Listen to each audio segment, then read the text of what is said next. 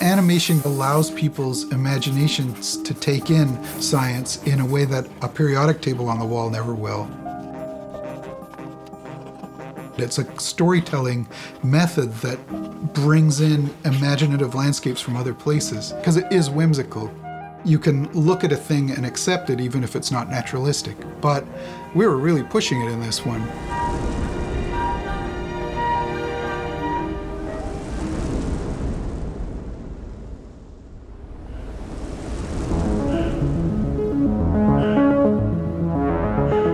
I think we're trapped into a set of conversations about carbon that we just keep on having again and again.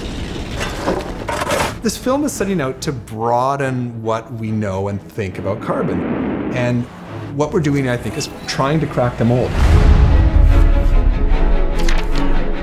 That's why we needed an artist like Bruce, because Bruce's work is so unexpected.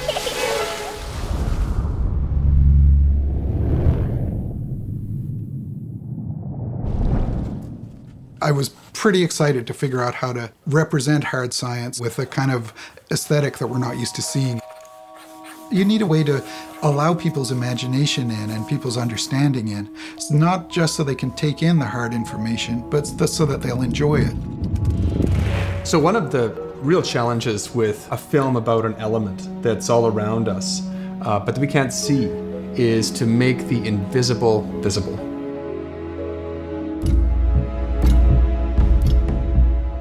Bruce was really skating the edge of the abstract with his animations the whole time.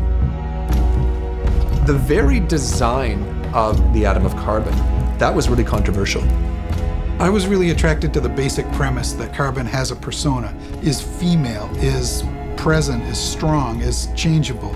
And I thought, as an animator, how can you give a character character without a face, without facial expressions? What we eventually ended up with was this glowing, vibrating magenta orb with a, a voice that's depicted by a flame.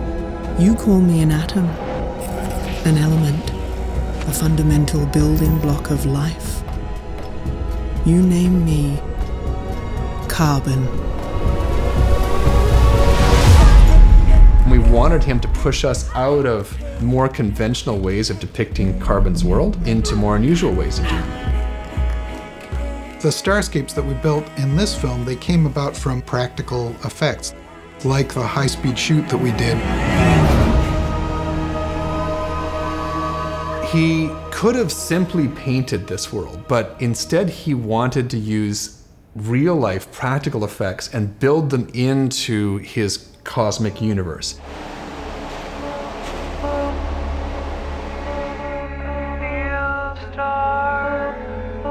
Welding sparks flying off a welder. They end up looking like this living star that's just been formed. When you put it behind footage of painted things and particle systems and light play, you end up getting this imagery that looks amazingly like nebulae in outer space. Oh yeah, that was worth it. That was great. This is a fantastic experiment. This gave Bruce a whole set of resources that he could build into the Big Bang.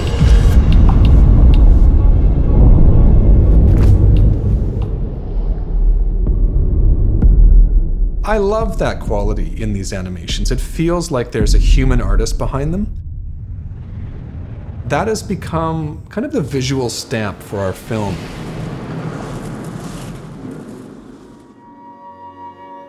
You gotta love photosynthesis. Wow. And what are we doing? We are taking sunlight and putting it through this mini chemical factory and outputting energy. That's extraordinary.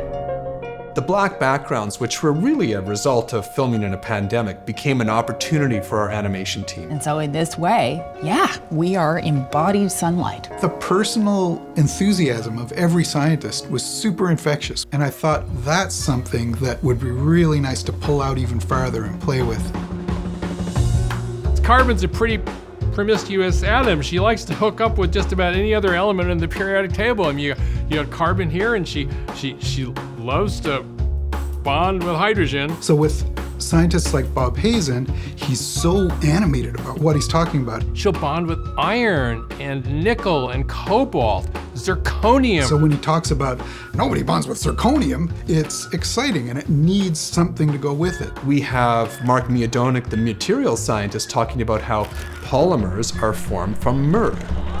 Tamara Davis sort of puts her hands together and talks about a sun forming. And so Bruce puts a star that spontaneously comes into being between her hands. It's a rabbit out of the hat moment.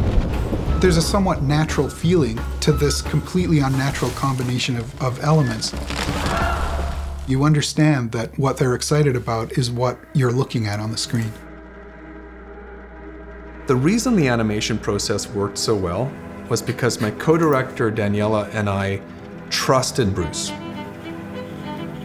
What Bruce could do with animation was find a language of metaphor that could help us understand this world so that we can go on the journey.